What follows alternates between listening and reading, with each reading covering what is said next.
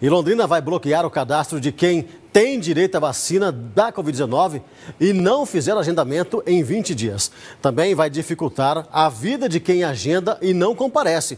Outra novidade é a redução do intervalo da terceira dose para idosos e profissionais da saúde e o avanço da imunização para adolescentes com mais de 12 anos.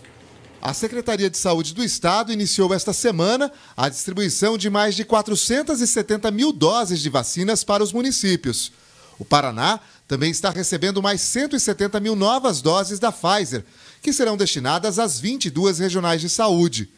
Com a distribuição garantida, a Secretaria de Saúde de Londrina decidiu ampliar o esquema de imunização no município. São quase 10 mil adolescentes que passam a ter direito à primeira dose da vacina contra a Covid-19 e já podem fazer o agendamento no site da Prefeitura. A medida anunciada nesta terça-feira aumenta a faixa etária, incluindo jovens de 12 e 13 anos. Outra novidade é quanto ao tempo entre a segunda aplicação ou a dose única para a terceira dose, que hoje é destinada a quem tem mais de 60 anos ou profissionais de saúde. O intervalo diminuiu de 180 para 150 dias, ou de 6 para 5 meses. Bom ficar atento se você é idoso com mais de 60 anos ou profissional e trabalhador de saúde e já fazem mais de cinco meses que você tomou a segunda dose, você já pode voltar ao site da Prefeitura e realizar o agendamento para a dose de reforço. Quem já tem direito à vacinação contra a Covid-19 terá o prazo de 20 dias para fazer o agendamento.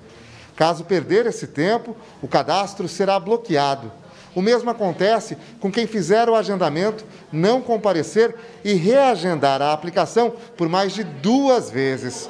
O desbloqueio tem que ser solicitado no site da Secretaria Municipal de Saúde, no portal da Prefeitura. A medida foi necessária para que as doses que ficavam reservadas a esse público que não comparece agora poderão ser liberadas para atender outras pessoas. É mesmo porque observamos nas duas semanas uma redução muito importante é, no sentido de pessoas que já tinham é, é, o seu cadastro validado, já estavam aptos a tomar a dose de reforço, a segunda ou a primeira dose, e não compareceram nas salas de vacina, sequer fizeram agendamento.